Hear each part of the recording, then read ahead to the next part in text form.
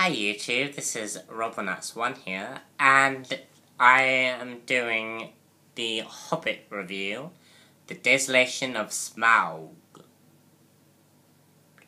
Um, this movie was pretty good. Um, it starts off where the last movie left off. Um, we see the our heroes traveling to the lonely mountains to get back to reclaim their homeland. And we see um we see Bil- Bil- Bilbo in this film really really takes the center stage in this movie. More so than the last one. And you can just see at this stage that Bilbo is a very, very strong character. And he's moving towards a direction. And um, we also have on Gandalf, because the the movie starts often like three different. The movie has three. Sorry. The movie has three different sets of story. Um, the first is Bilbo and Thorin going t- to the Lonely Mountains to reclaim the uh, t- to reclaim the homeland and defeat Smaug. Um, the second one has Gandalf fighting um investigating more about Sauron's sudden rise. Um, and I say Sauron as this is gonna be be a spoiler review. Um, we actually get to see Sauron in this film. And it's not like a very, very brief cameo either. We actually see the silhouette of Smaug, and it's like, awesome, awesome. Um, not Smaug, Sauron. We, yeah, we, we, we actually get to see him in this um, movie.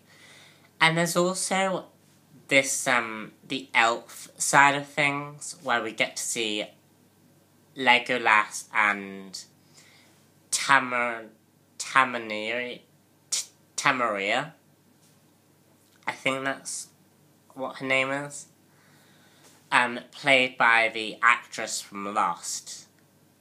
Also, um, play an important role in the story. They're trying to defeat um, these orcs that have come into their homeland. And um, really, this this movie is just absolutely incredible. Um, although I did come out of the movie very, very negatively, though. Um, this movie, let me get the negative out of the way first because I did enjoy the I did enjoy the movie. It's just that um when I went to go see it, I came out the movie very very negatively. And and I would go back and go see it again and probably come out very very differently. Just at the time I wasn't altogether with it. Um, really, the negative is just the length of the film. And it's very long, um, and it's very, very involved. Um, you know, because I, I haven't seen The Hobbit since. Like, I I have seen the first one, but I didn't see the first one until next until like last year. So I had forgotten most of the character development that had gone on. And unfortunately, just kind of. I went into the film f- feeling a bit lost.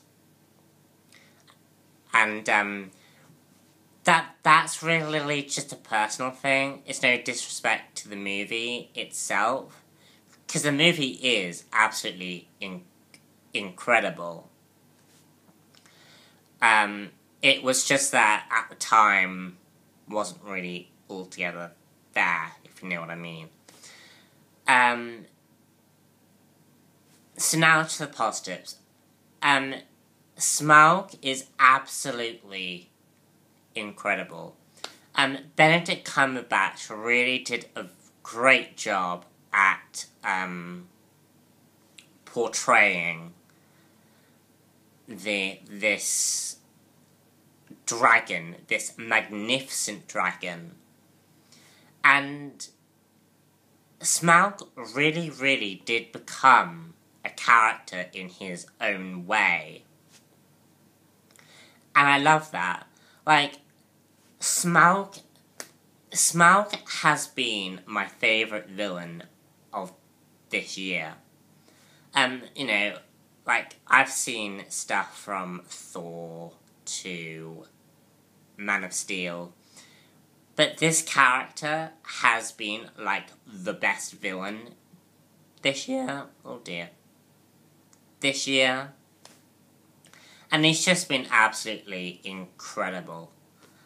Um, I really, really enjoyed Benedict Cumberbatch's um, voice, and and because Benedict Cumberbatch has such a powerful voice, um, you do really, really get that feeling. But this is a character that, you know, has a personality and has a life to it. Um, we also have Bilbo and his obsession with the ring. Um, Bilbo actually um, starts to feel the influence of the ring really taking over in this film. And unlike in the first film where he just used it as a device, um, this film really, really gives Bilbo what Frodo had on his journey. Um, and because Bilbo has this, you know, B- Bilbo has a lot more strength to him, more than I think Frodo does but like he he you can just see the ring start to influence Bilbo's mind. And um, I thought that was very, very interesting. And I love the parallel between um, Bilbo and Thorin. Because, like, well, Bilbo was obsessed with the power of the ring. And Thorin is going down the same direction. Like, his mind is driven by dreams of conquering a land and becoming king and really, really becoming this, you know, powerful dwarf. And it's it, and it's interesting because as Thorin goes into the into his kingdom, you know, he, he really turns into this darker character. And I really, really enjoyed seeing that. Um, Gandalf, Ian McKellen knocks Gandalf out of the park. Um, you know, he's such a great, great actor and um, you know, he just was so enjoyable to watch, and you know, as I was saying about that, we get to see Sauron in this film. Boy, do we get to see Sauron! You know, we get to see this whole silhouette, and that actually really, really was like, whoa, they did that because that was one of my favourite bits in the film. But we got to see the not uh, not only just the eye of Sauron, but the inside the eye, the eye as well.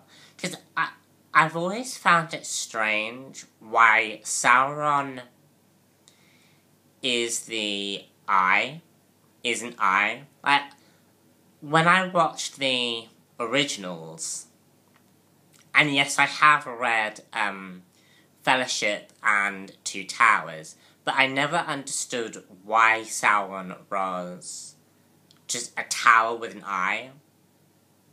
I didn't realize that actually inside the eye was Sauron, and I really thought that was cool.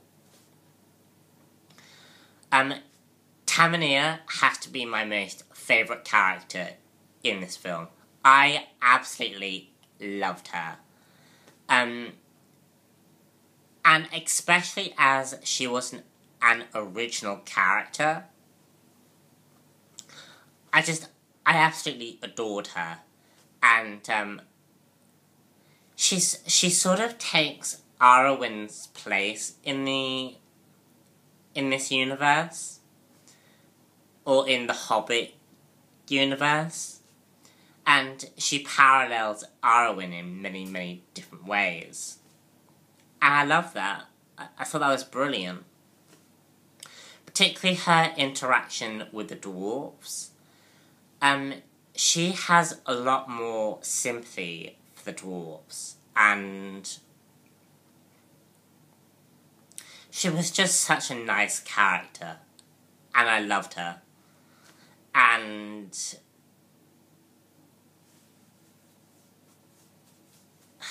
yeah, I, I, I just, I absolutely loved her character.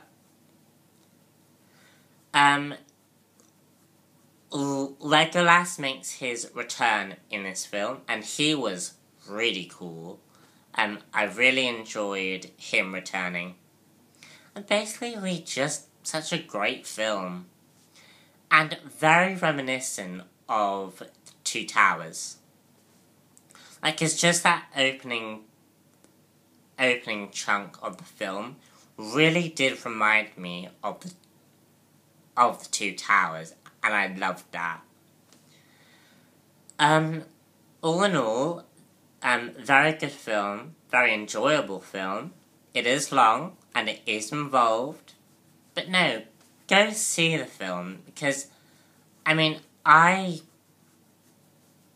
really really did enjoy this film although I came out of the film negatively, I, I did actually enjoy the film, and I would recommend you guys watching it. So, um, stay tuned, because, um, sometime within this month, I will be doing a segment of my 10 favourite films of this year so don't miss it. Um, I also have a few updates as well because this is probably going to be my last chance to update you guys. Um, the my apologies for the lateness of the Arrow reviews. I know four months is ridiculous, but I have eight pieces of work to get done this year.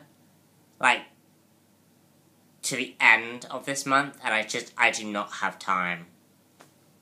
Um, my goal is to finish the Arrow reviews by, you know, to finish the the Arrow reviews.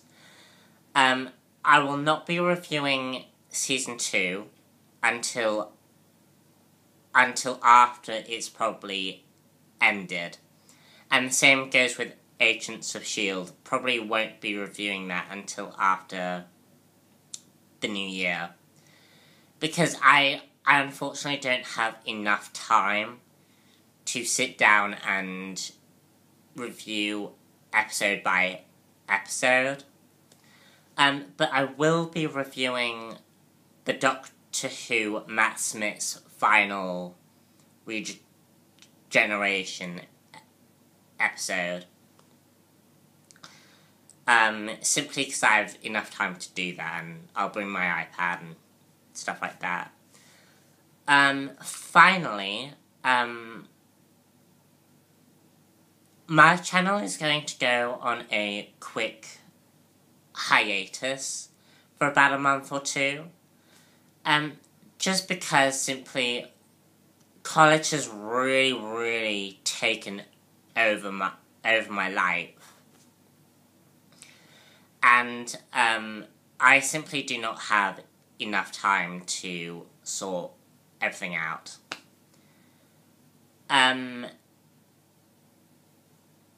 but when I come back, which should be either in February or March time, I'm gonna come out with a completely new, um, like complete. Basically, it'll be a complete reboot. Kind of like how comics reboot their universes. This channel will be going under a complete reboot. Um, You'll still have your collected. You'll still have collected editions, but it will be very, very different. And you'll still have your movies, but it will be a lot more um, focused and a lot more in depth. And um, yeah, so just look forward to that. Um, and I hope you'll have a, a Merry, Merry Christmas and a Happy New Year if I don't get a chance to talk to them. See you soon. Bye.